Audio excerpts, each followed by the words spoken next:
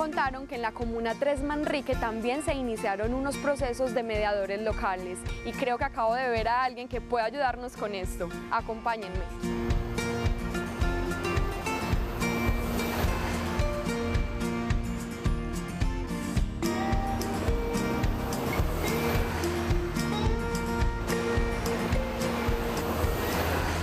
Esteban, ¿qué más? ¿cómo, estás? ¿Qué más? ¿Qué has hecho?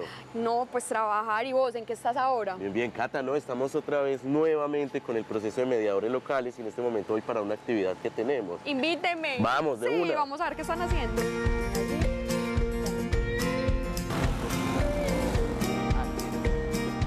Hola, Escaneados. ¿cómo están? Hola, ¿cómo estás? Esteban me contó que tenían hoy como unas actividades que iban a preparar.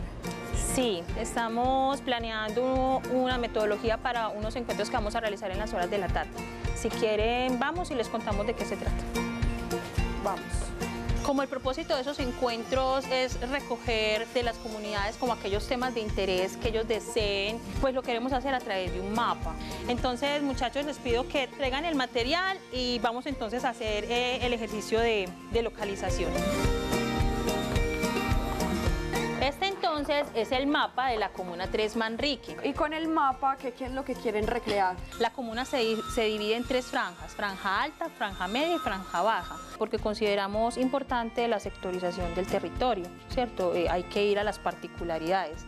Si bien los territorios, cada comuna es diferente, eh, esa división sociopolítica por nodos, por franjas o por microcuencas también es muy diversa. Entonces nosotros consideramos estratégico eh, hacer encuentros por franja en esta ocasión y preguntarles directamente a los habitantes qué, temas de interés desean que se difundan o si consideran, si tienen alguna problemática, pues poder eh, llevarlo al trámite de las PQRS.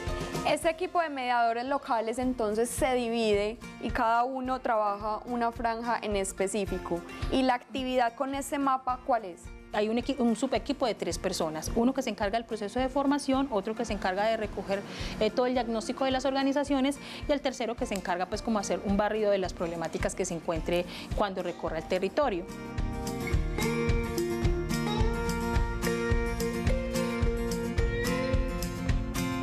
Yo considero que en la franja baja hay un problema de espacios de encuentro. Cuando la 45 pasó a, a sufrir pues, o a vivir eh, la, la experiencia del Metro, Metro Plus, perdió su 45 como escenario de, encuentro, ¿cierto? Y se volvió pues comercial. Le hace falta espacios de encuentro a la, a la franja baja.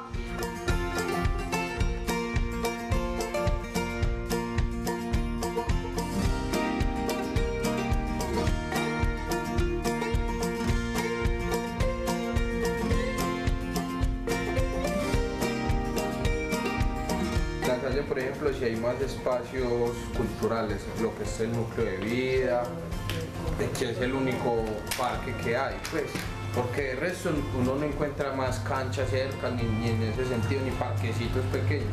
Ese es el único espacio cultural, digamos que de la comuna parte baja eh, existe. Yasmin, nos quedó todo muy claro, entonces ahora me voy a llevar un momentico a Jorge para que me explique más a fondo sobre la franja alta. Listo, no hay problema. Nosotros igual vamos aquí afinando detalles y lo que necesiten. Listo, ya vuelvo. Jorge, venga usted que, que me cuente por allí algo. Jorge, tú tienes la parte buena, la gruesa, la de caminar el barrio, la de la franja alta, PQRS. Cuéntanos entonces cómo fue esa recolección de la información y cómo te diste cuenta cuáles eran las problemáticas que más afectaban a esta franja.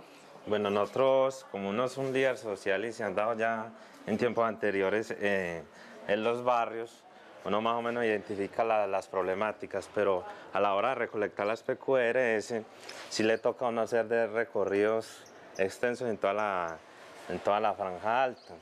Entonces ahí empezó la consolidación con otros líderes que uno conocía, de, de darle a uno pues como las problemáticas y reunirle a la gente para poder recolectar la información y las problemáticas que ellos tuvieran para poder sistematizarlas y enviarlas a la alcaldía y le dieran una respuesta pronta a las, las PQR.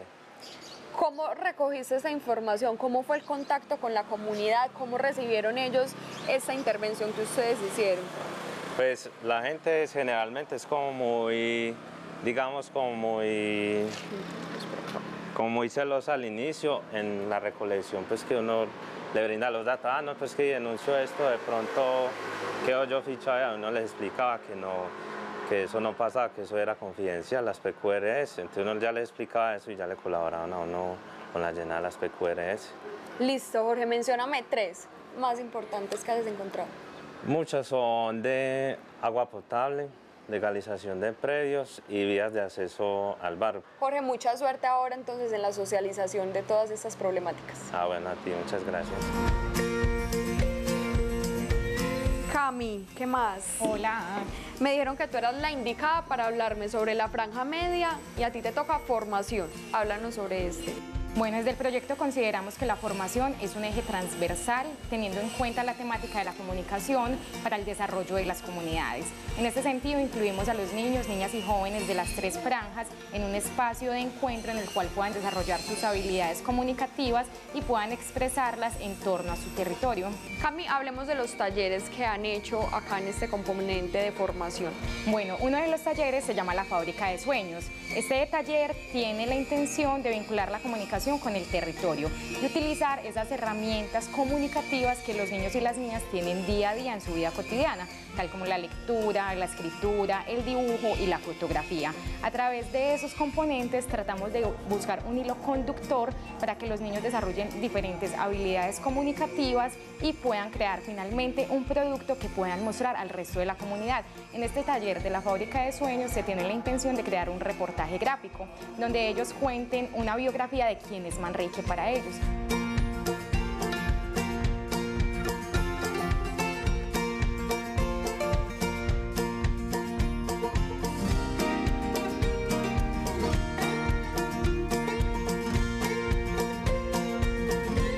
Pero ahora recomiéndame a alguien de la franja baja que pueda hablarnos un poquitico sobre ese tema.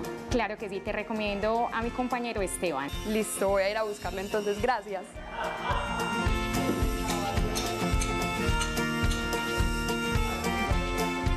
Esteban, bueno, voy a finalizar contigo. Me dijeron que tú estás encargado de la franja baja y tu componente es de organización, ¿cierto? Listo, entonces hablemos de ese, ¿qué es lo que contiene? Bueno, eh, básicamente lo del proceso de organizaciones es hacer de alguna manera un mapeo que nos permita visibilizar esas organizaciones que están en la parte baja de Comuna 3 Manrique recordando que por cuestiones siempre hemos reconocido las organizaciones de las partes medias y altas, pero siempre de alguna manera hemos invisibilizado las organizaciones de la parte baja. ¿Cuáles de esas organizaciones que has visitado y con las que has podido tener contacto te ha causado asombro, te ha gustado?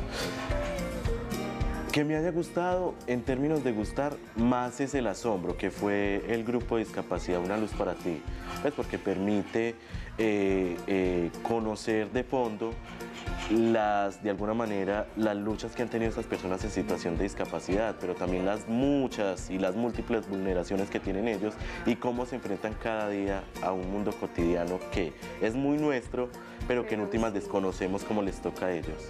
Todo eso me ha parecido como un proyecto demasiado bueno y que vale la pena replicarlo en otras comunas.